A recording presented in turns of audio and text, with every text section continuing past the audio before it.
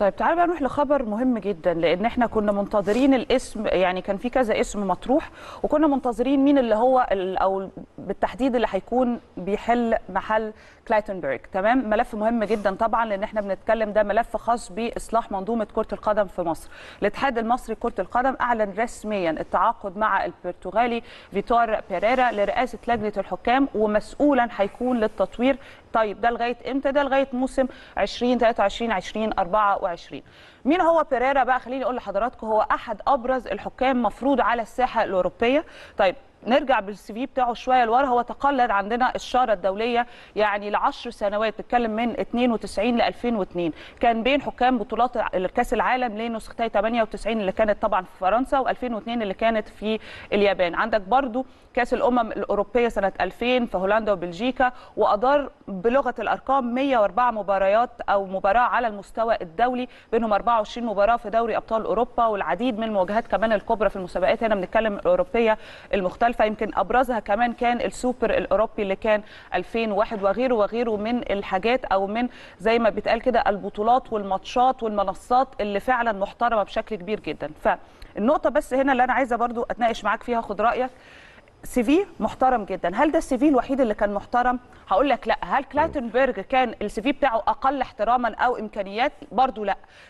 كلايتنبرج كان ال CV بتاعه قوي جدا برضو بالمناسبة. قصتنا مش مين بيجي على قد ما قصتنا لما الشخص ده بيجي من أي دولة كانت حتى لو مصري بالمناسبة هيقدم إيه وإزاي إحنا هنقدم له ونساعده إن هو يكمل شغله بشكل مظبوط. دي النقطة اللي إحنا عايزين نتناقش فيها. كلايتنبرج حتى وإن كان الاتفاق معاه وبعد كده إحنا رجعنا اعترضنا على ده بس كان الاتفاق معاه كريم من الأول إن هو مش هيكون متواجد في مصر بشكل دائم وعلى منصة زوم هيكون بيدير الموضوع إلى حد كبير والراجل كان متفق على ده جه بعد كده إحنا انتقدنا وكان في بعض الكلام ومش عايزه ارجع للقصة كلنا عارفينها الراجل ده لما يجي دلوقتي بيريرا هل إحنا هنقدم نفس اللي قدمناه مع كلاتنبرج ولا الوضع هيختلف هو ده بقى التساؤل انت بتضحك عشان فاهمني؟ بضحك عشان عارف اللي فيها وربنا يستر على الراجل ده وعلى سبيه كده. والمكلبز اللي هو جاي لنا بيه بصي المشكلة في إيه؟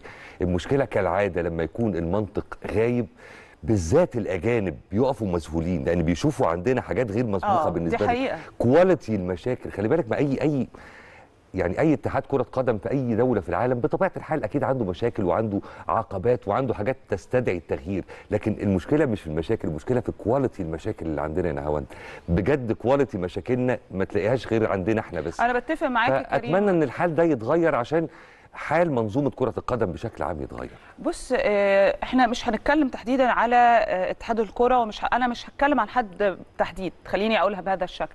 بس آه، هاخد من كلامك لأن أنت قلت نقطة مهمة. في مشكلة عندنا إن أنت لما بتلاقي شخص بيشوف شغله يعني بشكل كامل بتبتدي إن أنت تتضايق أو بتبتدي إن أنت تحاول تلاقي أي مشاكل عشان تعرقل المسيرة. أنا ما بفهمش ده ليه. يعني هل دلوقتي مشكلة عندنا إن الشخص اللي بيشوف شغله بما يرضي الله مثلا؟ يعني يعني بتكلم بجد والله تلاقي واحد جاي باجنده عايز يشتغل عايز يطور عايز يعمل تلاقي الناس دايما ناس داخلة تبوظ المنظومة تبوظ الدنيا.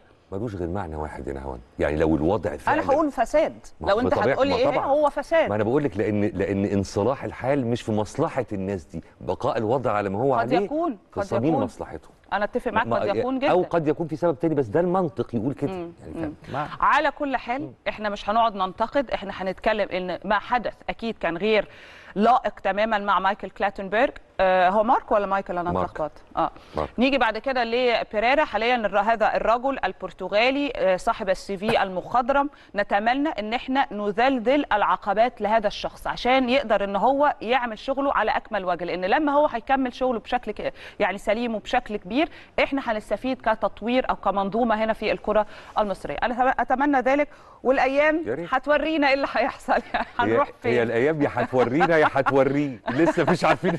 هو وظروفه هو وقرفته. آه. فربنا يصلح الحال إن شاء الله. وجو-